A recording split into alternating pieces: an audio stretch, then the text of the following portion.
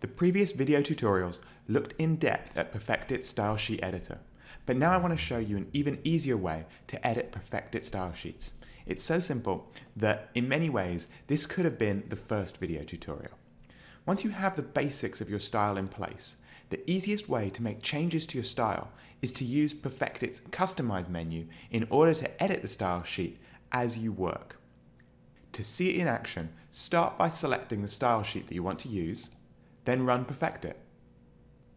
When Perfectit shows a potential error, you can click the Customize menu to enforce your preference in future. It adds the preference that you choose to the active style. For example, on the test of hyphenation of words, this document has cooperation with and without a hyphen. Click the Customize menu, and you can see that both options can be added to the style sheet. Let's choose to always prefer cooperation without a hyphen. We can actually see that has been added by going into the style sheet editor and choosing the test hyphenation of words.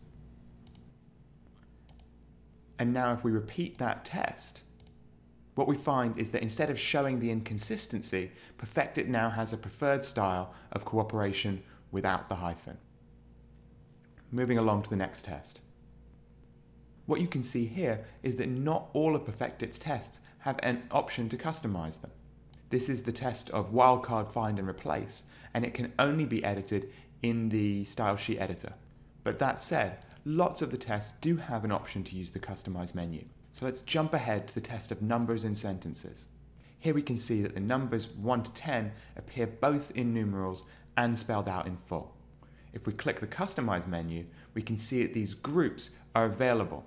The principle is the same as the test of hyphenation, but in this case, we can set a preference for groups of numbers as well as individual words. Let's jump ahead to the test of phrases in capitals. In this case, government appears with and without initial capitals, and the options in the Customize menu are very similar to the test of hyphenation. Now, government with and without initial capitals is a really frequent error, so I don't think we'd want to turn that off. But for the sake of argument, we could stop Perfectit from checking that if we wanted to. To do that, we choose the option to never find government. By ruling out choices that you don't want Perfectit to look for in future, you can make its checking faster and more efficient. And you can see that this has been added to the current style by clicking the style sheet editor and then choosing the Never Find tab. Now, if we rerun that test, we'll find that it won't find government this time and we'll skip straight to the next issue. And it's not just in this document, because we've added it to the style sheet, this will apply on all future documents when we use this style sheet.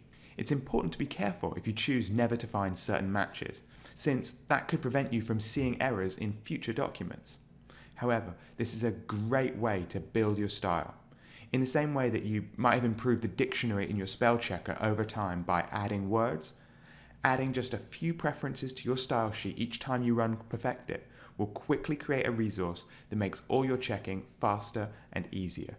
And if you make a mistake with the Customize menu, you can always edit it through the Style Sheet editor. In the next video, we look at how you can manage and share the styles that you create so that everyone in your organization can use Perfectit to enforce house style.